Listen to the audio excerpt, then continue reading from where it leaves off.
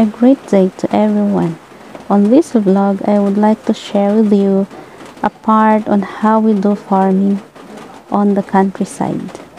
The first step is we're going to clean all the sides and corners of the rice field before plowing. Mostly, we do it manually. Sometimes, if it's possible, we use grass cutter to clean the corners and sides of the rice field. This is manual cleaning. Sometimes, if we can't do alone, we have to hire additional manpower to do the cleaning, especially if the rice field is quite wide. Now it's done, but just the one side. This morning I started there where the curve is and after 6 hours it was finished. On this side, it would be a grass cutter.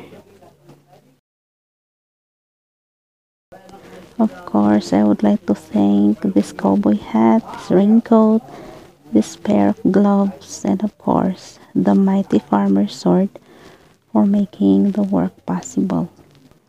While preparing the rice field for planting, we have to make sure that the rice seedlings are growing healthy.